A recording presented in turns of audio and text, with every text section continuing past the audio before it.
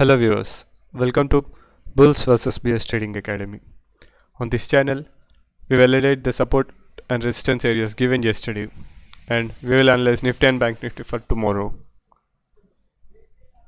So if you are new to our channel, subscribe to our channel and press the bell icon to get the notifications. You can join our Telegram group Bulls vs Bears Trading Academy from the description box where we give where the link was given feel free to join our telegram group to get the updates. So before starting our video let's see a small disclaimer.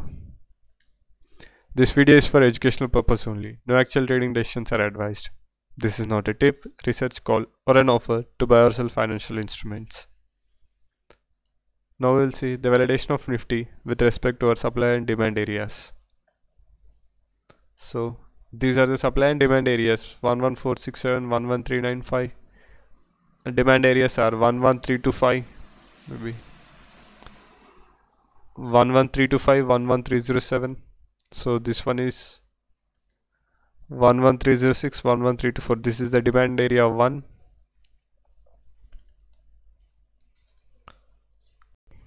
so these are the two demand areas and this one is the supply area.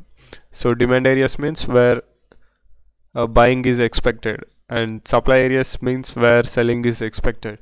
So we'll see the intraday movement of nifty. That is today's intraday movement with respect to our supply and demand areas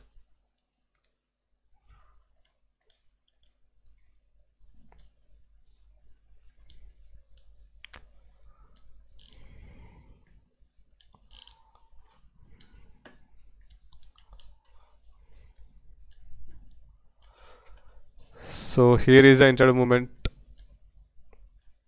of nifty. Uh, so this was the first 5 minute candle. We we opened at 11257 with a small gap. So the gap was around 50 points and we opened with a small gap and went high in the first 5 minute candle itself. It was showing sign of strength and and we have already predicted the direction in the yesterday's video itself. And I, I also written in the comment about the direction so one of the subscriber has asked uh, which moment are you expect expecting? And I have replied it as an upside. It was written 20 hours ago. So it was obvious that the direction was for the upside. So in the very first 5 minute candle we went up. Second third fourth fifth candles also went up. So from the fifth candle onwards we started consolidating. 5 6 7 8 9 10 11 all the candles were consolidating so at around this time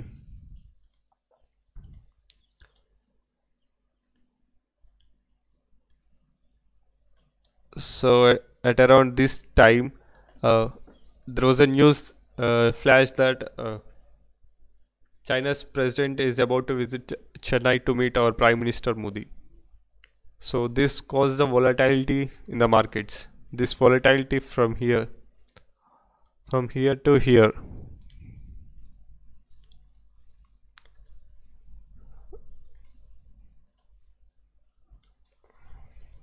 See this volatility from here to here.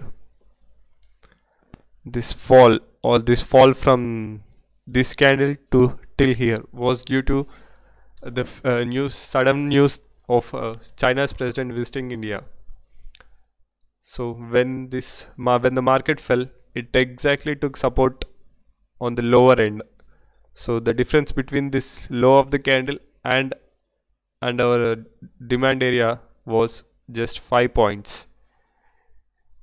So it took support over here and went up. When it went up, it started taking support again on the upper end of the zone. I mean on the upper end, see it started taking support. 1, 2, 3, 4, 5. So 5 into 5 minute candle each one. 5 is 25 minutes. So for half an hour, it took support here, went up. Again when it came down, it started settling over this upper level. 1 2 3 4 5 6 7 8 9 10 11 12 so for around 1 hour it took support on this again on the upper end. So it settled from here till here. It took support on this and went up.